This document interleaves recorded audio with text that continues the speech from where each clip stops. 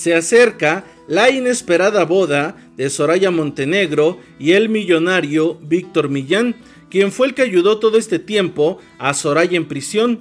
Ahora, Víctor se ha enamorado de ella sin saber que Soraya solo lo ve como un instrumento más para lograr su venganza contra los Salvatierra. Esto porque quiere destrozarle la vida a Mariana, Elena y Luis Alberto, quienes al saber los atroces crímenes que cometió, decidieron darle la espalda.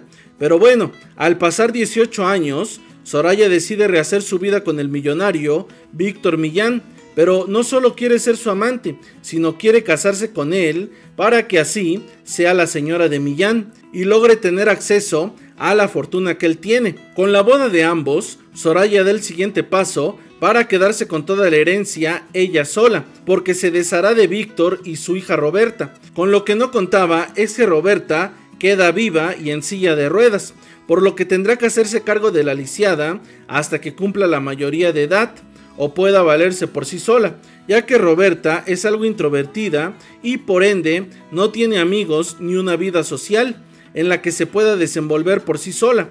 Es por eso que necesita siempre de su nana, Claudia.